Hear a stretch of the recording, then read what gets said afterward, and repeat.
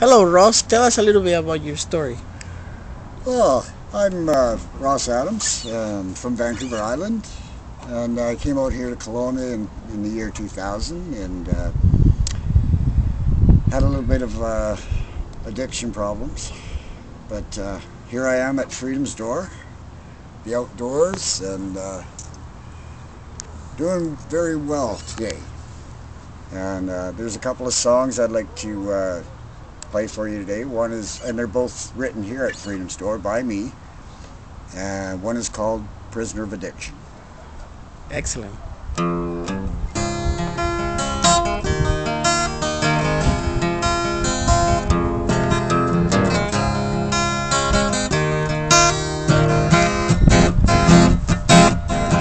Standing in the darkness, I see a light in your window.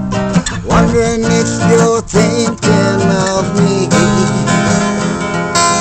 How can I expect you to still want to hold me when I caused you so much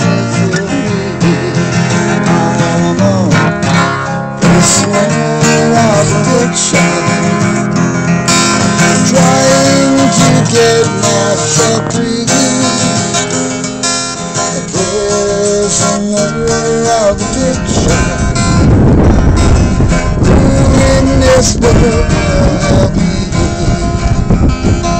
Wanting to run, not knowing where I'm going. Someone break these chains off of me. The feelings of shame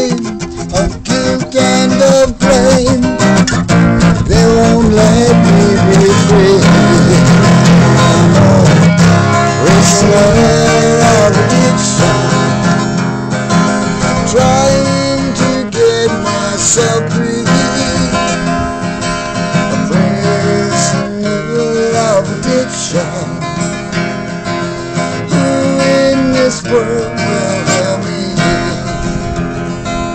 living on the streets of Kelowna. I can't seem to face reality. Everything I once had is now gone. I need someone like you, Lord, set me free.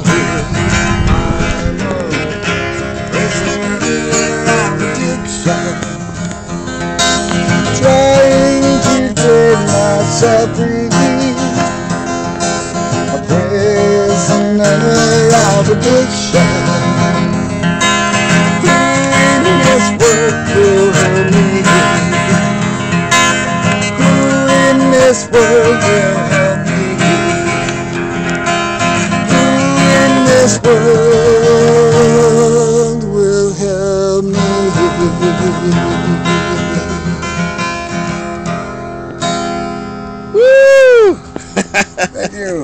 Absolutely fantastic.